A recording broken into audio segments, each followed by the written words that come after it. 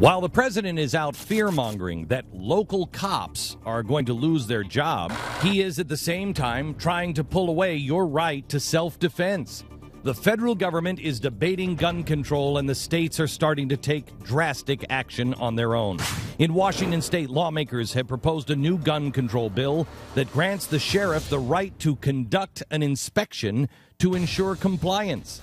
Maryland now has banned gun shows indefinitely. New York has introduced a new bill that will require gun owners to have $1 million in liability insurance. Don't get it?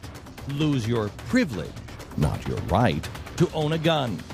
Colorado Democratic Joe Salazar suggested that women use whistles and call boxes instead of guns to defend themselves from an attacker.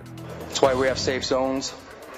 That's why we have the whistles, because you just don't know who you're going to be shooting at. And yet another Colorado Democrat now thinks that the buddy system is the best way. There are other methods. There's mace. What about a taser? The buddy system.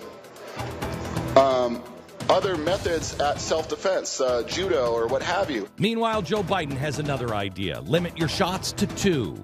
I said, Jill, if there's ever a problem, just walk out on the balcony here or walk out, put that double barrel shotgun and fire two blasts outside the house. You don't need an AR 15.